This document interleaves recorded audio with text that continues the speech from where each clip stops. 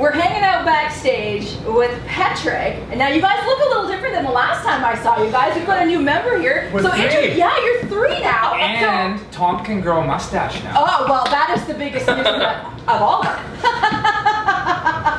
Maybe. Brothers are supposed to do that. I've got two. That, that's why we got the third guy, so he can break us up a bit. Yeah. Nice, yeah. So you, I should you be in the middle. that. Yeah, I'm well, we're good. We're Yeah, yeah. You know what? I've got two brothers and a sister, and we rip each other all the time. So this, Yeah. is, this is what it's You supposed get to be like. Yeah, I get it. So you know what? Because there's a new member, Jordan. Yeah. You know what? Let's go through. Introduce yourself. Introduce yourself to Kissin' Country. Hey, Kiss the Country. Jordan Day. I'm part of Petric. I've been actually with Petric longer than Tom's been with Petric.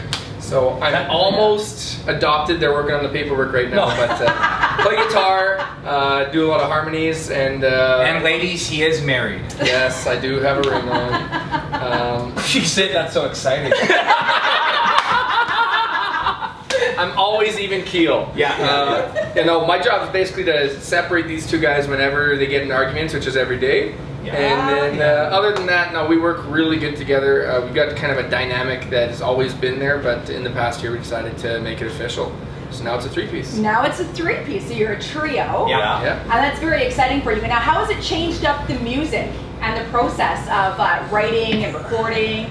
It's way better. Yeah. I feel like it's like when you're in a, a relationship and like, where have you been all my life, sort of thing. Jordan's always been there, but once we kind of just said, okay, this is this is what we should be doing, it's like, man, this just makes too much sense. So we've been nonstop since November. Yeah. Um, that was when we kind of had our first meet and said, this is what we should be doing. I think we're missing out if we don't, and you only live once, so we're all like, let's do it. And and since then, it's been nonstop. It's been a lot of fun. A couple of bickering fights, hey Tom, but. Uh, but we I, got would- couple. I would be worried if we there got, weren't. we got a bunch of new music. Yeah. It's the best music we've ever done. Yeah. The band, and like all the other guys, this is the best team we've ever had. So You're gonna hear some tonight too. So That's awesome, and your new sing or single, Single. from From- The tongue twister. Yeah, yeah, It is. right. It is a tongue twister.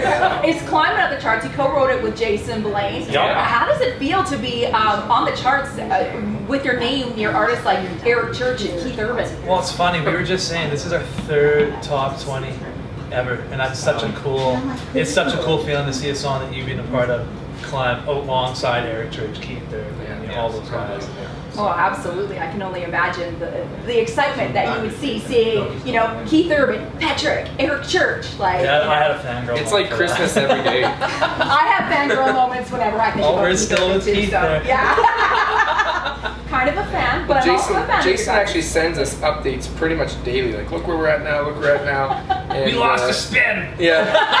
One, yeah. But We it- lost a we're- spin. We're monitoring pretty closely, but it's just so exciting to It's see, especially cool. for me being my first single with the band, and to see us have the success with a song that we had our input, that we wrote, Yeah. that we kind of did from the beginning to the end. To see it now is just amazing. That's Yeah. pretty cool. Yeah. Now, I was checking out your Instagram, and I love this because you guys had a photo. Uh, you guys played a festival within the last week or so, and you got to play with Lonestar, and that was the first Yeah. concert that you went to. Yeah, when you were four that years old. yeah. How cool was it to be playing the same stage as somebody that you kind of grew up idolizing, and probably, you know, listened to their music growing up and thought, I want to do this. I don't think I realized what was happening until I actually met them after we played. And I like walking up, I'm like to him, like, man, I'm actually really nervous right now. Like, I'm four years old. My first concert was them front row center. Somebody asked us not too long ago, um, who's the biggest band you shared a stage with? And, and I think they asked us that day, and I'm like, you know what? I think it's Lonestar. Because they were huge. They still are huge, but when, when Amazed came out, that was that was one of the biggest songs, and it's still one of the biggest wedding songs out there. Oh, absolutely, So- yeah. Yeah, like that's And- a special moment. I mean, and they've been cranking out hits since the mid '90s, Oh, yeah. right? Yeah. So Like, good. so good. So yeah, to see them and to be performing on the same stage, and tonight you're performing with a, a Canadian music legend, Charlie. Major, Yeah. is Yeah. you know. so you're going to be, he's going to be taking the stage just after you guys, and then one of the hottest duos in country music right now, Brothers Osborne. Yeah. So how do you guys mentally prepare yourself to hit the stage, knowing that Charlie Major and Brother Osborne are to come? Red Bull. That's actually so true It's for him. Jason. You know, I Rum and Coke. from a football. And he likes Corona. craft, craft beer. Yeah, craft beer, Corona, anything. Yeah. We have Apparently fun. liquor. we uh we just have fun. We, I think going up to it, we try to not be too uh, too into it and, and just go and Have fun. Yeah. Well, in this crowd, uh, the Kiss and Country kickoff party at the Big Valley Jamboree, like we're so excited that Big Valley is finally here, Yeah. and this just sets a tone for the whole weekend. It is going to be a crazy party tonight. This is our first time here, ever. Which is crazy because you know you know how you went to Lonestar. That was your first concert. My very first concert was 1993, the very first year they had the Big Valley Jamboree. No way. Woo, Canberra. Really? Yeah. So. Just a baby. And look at you I- now, you're a superstar. I, uh, my mom thinks I'm a superstar. That's cool though. It's like to think about full circle. Yes. That is really cool. So. And it's very, very Well, I think cool. Charlie's. We just did a little event with Charlie, which is just super cool to play with. But he said that was his first like major major thing was '93. He released a song and he came and played here. I was one. Yeah. So you might even see it. one And now I feel really old. So Oh thank no. It, it's so cool. It's so cool to be part of the community and to get to, you know, hear your song on the radio. And, and then, of course, to see it go up the charts. But honestly, just to hear your song on the radio, Yeah. that's really special. And, and we said this on the songwriters thing we just did.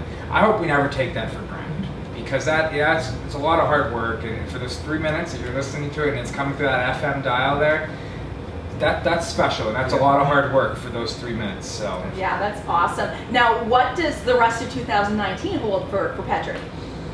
Recording, writing, Yeah. finish up these songs that we have, and hopefully get you guys some new music very soon. Well, that's awesome. We can't wait to hear it. We can't wait to hear you on the Kiss and Country kickoff party stage tonight. It's going to be so much fun. Thank you for coming to Big Valley. We can't wait to see you again. Thanks for having us.